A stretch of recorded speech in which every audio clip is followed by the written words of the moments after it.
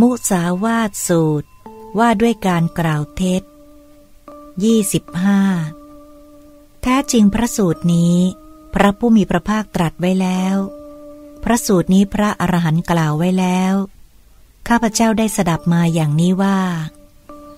ภิกษุทั้งหลาย เมื่อบุคคลล่วงละเมิดทำอย่างหนึ่งแล้ว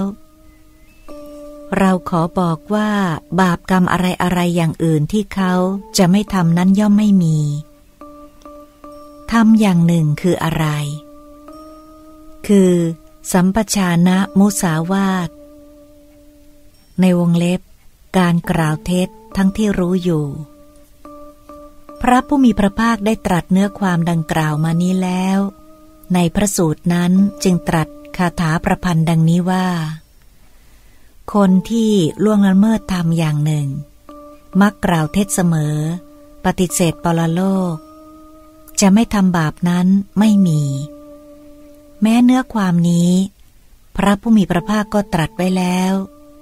ข้าพเจ้าได้สดับมาอย่างนี้แล มุสาวาสูตรที่ห้าจบ